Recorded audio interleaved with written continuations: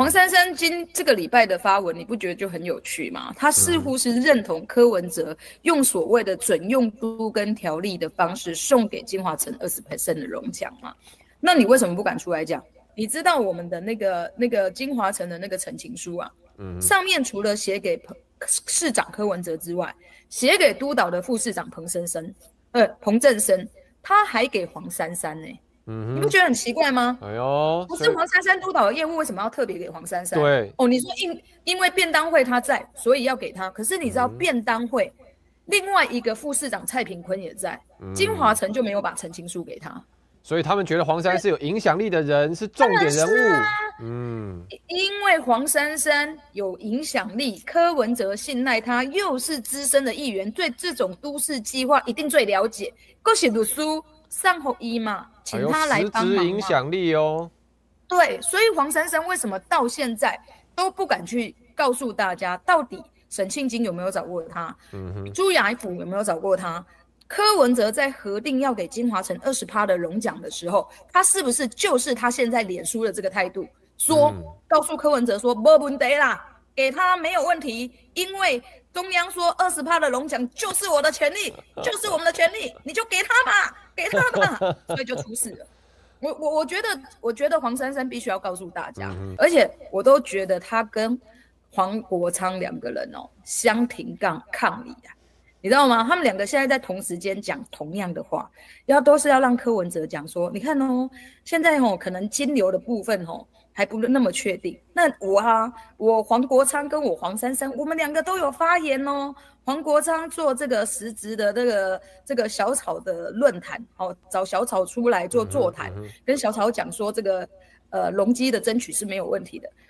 啊，黄珊珊呢没有这个动员能量，所以他就在脸书上面去讲这件事情，一样都是在表态。而这样子的表态到底是所谓何来？刚刚我们讲的动员小草。给司法压力，然后谋取自己的政治利益。另外，这这不是这这两个人在为了民众党在后柯文哲时代的党权之争在斗争啊！民众党现在终于想通了，因为他们 金华城这一案，他们之前都在把错推到彭正生头上啊，说那个章是彭正生盖的，跟阿北没有关系。但我们所有人在讲嘛，啊，彭正生只要说他受到市长指使，你这样就结束了。因为你已经都承认这是非法，这是违法了嘛，所以他们现在转弯一百八十度改口，说没有，我有法条啊。他们这个援引一个是援引这个都市计划台湾省都市计划法施行细则啊，另外一个黄山是援引台北市都市计划这个自治条例第二十五条，说我地方政府本来就可以在细部计划给容积给到百分之二十的容积奖励啊，所以议员好像你是不是已经有在你的脸书有 po 文打脸？呛说民众党念书犯法是不是啊？对，是民众党叫他们念书很困难是吧？这些东西大家都找得到的事情，为什么可以白纸黑字公然说瞎话嘛？刚刚刚刚讲的就是说，柯文哲在面对金华城容积案，他一开始的反应是什么？一开始的是所有议员对他的质疑，他都不予承认，他都说他不知道，他都说合法，他都说都委会审理的，对不对？那。监这个检察官开始呃约谈他，甚至收押他的时候，他怎么说？他说：“我拢唔知呀，哦，我是市长，我不是都市计划专业，都是都委委都委会委员审的，哦，都是都发局同仁专业去处理的。”结果马上就被打脸嘛，因为他这样子的处理方法，就是所有都发局同仁跟都委会同都委会的委员要去承担。可是都发局的同仁一定会把这整个过程当中，从第一届柯文哲不同意。大家也都跟柯文哲一样立场，到最后柯文哲改变的态度，把所有的证据拿出来，都委会的委员我会也会全部把自己在审理过程中的意见全部跟这个检察官来报告，所以柯文哲就没有办法再说，哎，我不知道，用这样子的方式来逃避自己的责任。所以你知道吗？这个民众党或者是黄珊珊现在要回过头来讲说，哦。我给金华城二十趴哦，是合法的啦，没有违法啦，而且哦，这个合法还是你中央政府的规定，说我地方政府容积奖励可以给到二十趴嘛，那就如刚刚所说的，他们所引用的法律就非常的好笑。第一个，昨天民众党所做出的懒人包，真的有够懒，那我脑袋都不用问一下，连台湾省跟台北市都跨北情测，而且甚至在里面做懒人包，有多少人都要选台北市的议员啊？如果连字都看不懂，你凭什么选议员？我公然就开向你。如果你都不知道台北市第一个是首都，第二个是直辖市，台湾省的自治条例就不会是台北适用。再来第二个，台北市有台北市自己过去，我们自己有施行细则，后来施行施行细则废止之后，台北市针对我们的土管条例，我们是有自治条例的，所有的要给各个区域的容积奖励都规范在图管里面。所以，如果你要给柯文哲，你在过去你想给金华城，刚刚我们讲的这三个条件，包含宜居城市、韧性城市、包含智慧城市，你觉得全台北市都适用？那你去修修修改图管自治条例，图管条例要送到议会来通过，通过之后就是全台北市适用。结果你没有修改啊，你没有修改之后，你用这种呃行政裁量的方式。偷偷摸摸让金华城不是都跟区域准用都跟条例送给金华城二十趴，然后你现在讲说哦，这个是中央规定的二十趴，然后所以我给他二十趴没有错，我就问你呀，中央规定给二十趴。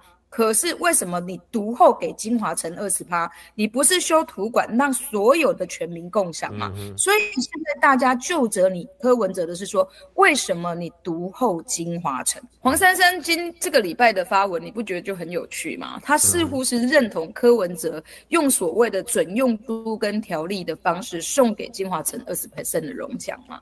那你为什么不敢出来讲？你知道吗？大家现在在怀疑。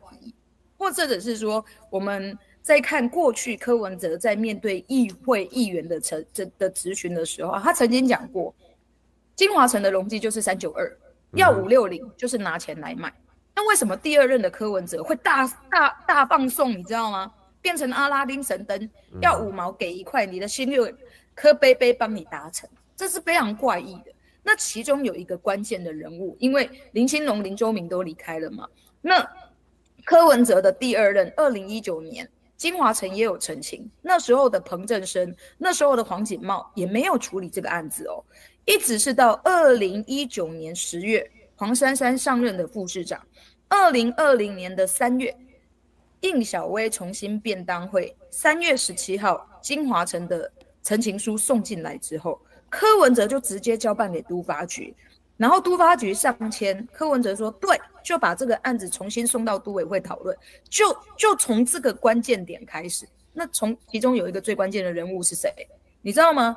应小薇一直都是议员嘛，彭正生也一直是副市长啊，黄锦茂也二零一九年就上任啊，最新上任的是谁？二零一九年十月上任的是黄黄珊珊，哦，是，而且三次便当会黄珊珊都在。第二个。你知道我们的那个那个金华城的那个陈情书啊？嗯，上面除了写给彭市长柯文哲之外，写给督导的副市长彭生生，呃，彭正生，他还给黄珊珊呢。嗯，你不觉得很奇怪吗？哎呦，不是黄珊珊督导的业务，为什么要特别给黄珊珊？对，哦，你说因因为便当会他在，所以要给他。可是你知道便当会另外一个副市长蔡平坤也在，金华城就没有把陈情书给他。所以他们觉得黄珊是有影响力的人，是重点人物。嗯，因为黄珊珊有影响力，柯文哲信赖他，又是资深的议员，对这种都市计划一定最了解。恭喜读书上后一嘛，请他来帮忙。影响力哦。对，所以黄珊珊为什么到现在都不敢去告诉大家，到底沈庆金有没有找过他？嗯哼，朱雅甫有没有找过他？柯文哲在核定要给金华城二十趴的荣奖的时候，他是不是就是他现在脸书的这个态度，说告诉柯文哲说没问题啦，给他没有问题，因为中央说二十趴的荣奖就是我的权利，就是我们的权利，你就给他吧，给他吧，所以就出事了。我我我觉得，我觉得黄珊珊必须要告诉大家，因为如果从他脸书上面的态度来讲的话。我非常怀疑柯文哲之所以起心动念，之所以认为给沈庆金二十趴没有问题，就是黄珊珊建议。但黄珊珊到现在不敢去回应这一件事情哦。刚刚这个吴真有讲到一件事情，就是在二零二零年九月的时候，呃金华城收到呃呃呃都发局收到金华城的都市计划草案的时候，细部草案的时候，你知道都发局第一时间是退回的，嗯哼，对不对？他九月二十一号，二零二零年九月二十一号，他收到之后，他是把它退回的。对，可是他退回的原因就是你刚刚讲的，因为你不是都，对，因为司法性有疑虑，你不是都跟区域，结果你全部都用都跟的方式来争取龙奖，你这司法性有问题，不行，我给你退回。九月二十一号退回，九月二十一号同时间同一天哦，黄锦茂就签批一个说帮忙召开专家学者会议，帮金华城来看专家学者会议来讨论他要怎么样去争取容积。所以这一件事情有两个点，第一个是说黄锦茂知不知道有司法性的问题？嗯，他知道。但黄锦茂知不知道这件事情要搬到帮到底？他知道。所以专这个我们的专业的公务人员其实都知道这件这件事情其实是麻烦的，而且是有是有事法性。可是他们被掐着脖子，嗯，谁给他们力量掐着脖子？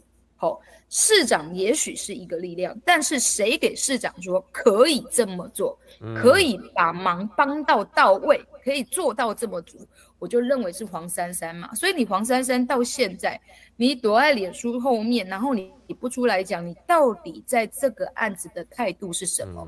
沈庆金，请你帮了什么忙啊？你给的什么样的建议？你应该要勇敢的讲清楚、说明白啊！